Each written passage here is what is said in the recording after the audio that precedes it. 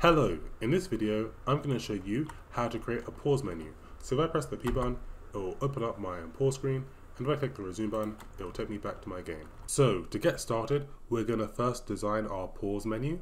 So in a free folder, just right click, go user interface and select widget blueprint, select user widget and let's just call this our pause menu, widget blueprint and if we double click and open it up, let's design our pause menu. So I'm going to go over to the palette and look for a canvas panel and just drag this in here. Then in my palette, if I just look for a vertical box and just drag this somewhere into the center of the um, canvas panel and then just go over to anchor and just anchor this to the middle of the screen. Then we just want to add some buttons which are going to appear inside of our pause menu. So here in the palette, I'm going to look for a button and just drag this in and then I'm going to look for some text and just drag this text on top of the um, button. And for this first text I'm just going to make it say resume. So we're going to make our player press a button which is going to bring up this pause menu. And then if they click this resume button it will resume the game. I'm also just going to go to font and make the size of this let's say 50 then if we just go to the button and go to the padding and I'm just going to add a padding of 30 in the bottom then just select this um, button, right click and go duplicate. So we're going to have another button inside of our pause menu and just make this say return to main menu. So if our player clicks this button, we'll return them to the main menu. And I'm just going to make my um, vertical box a bit bigger. And I spelt this incorrectly, so I'll just quickly fix that.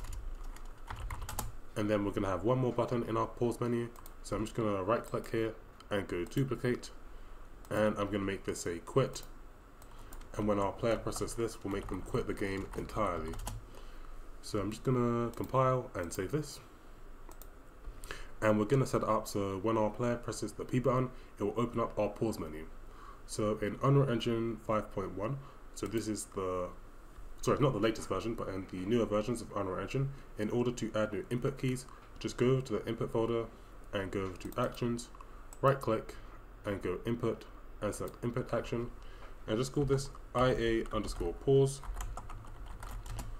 Then we just want to go over to the IMC default and go add new mapping and select the input action pause that we just made. Then we just want to look for this keyboard icon and this is the button the player is going to have to press in order to trigger the um, pause button. So I'm going to make it so when the player presses the P button it will trigger the input action pause. So here it is. I will save this, close this, and then go over to my um, third person character. And then in some free space, I'm just going to right click and look for the pause enhanced input action that we just made. So it should be called IA underscore pause. So when the player presses the P button, it will trigger this. And what we're going to do is just drag off started and for create widget. And the widget we're going to create is going to be the pause menu that we just made. And then we just want to drag off return value and add this to our viewport. And then after we've done this we just want to drag off here and look for set game paused. And just make sure that this is checked and that'll make it so the game is paused. Before we do that we actually just want to right click and look for get player controller drag off here and look for set show mouse cursor. This will make it so we can see our mouse cursor. And then we also just want to drag off here and look for set input and we want can't see it so this one yeah sorry set input mode UI only and that'll just make it so we can interact with our main menu and stuff so I'll just connect from here into here and from here into here and from here into here and this will just make it so when I press the P button it will open up my pause menu and then I'll have my mouse and I can interact with my main menu. If we just go back to our pause menu widget blueprint, let's add some functionality to these buttons.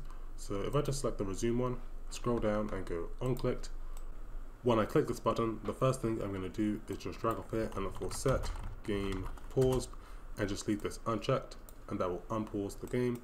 Then we just want to right click and look for get player controller drag off here and look for set show mouse cursor and just leave this unchecked so it will hide our mouse cursor and so that we can play our game again just drag off here and look for set input game only, and that will make it so we can control our game again.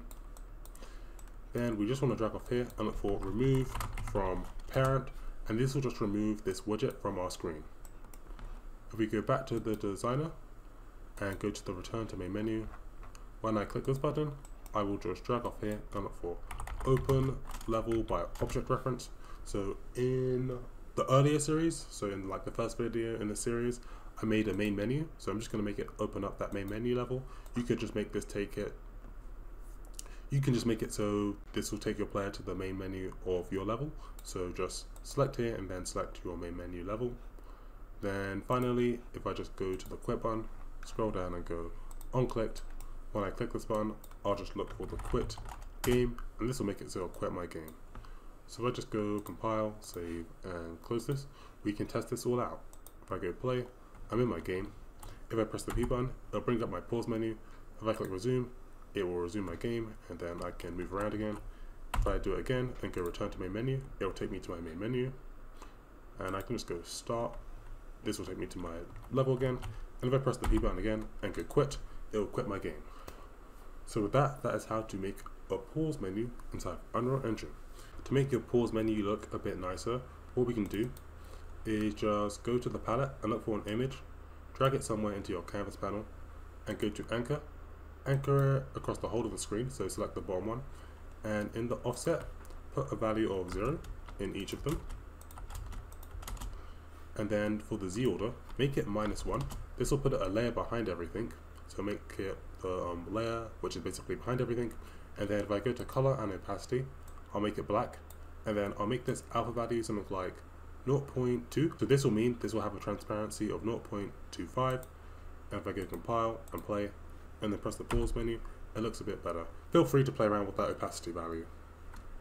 I will also be giving away the project files for this entire series, so if you want a project with a main menu, an options menu, and a pause menu, There'll be a link in the description to download this entire project for free. If you enjoyed, like and subscribe, it really helps me out, and I'll see you guys in the next one. Bye.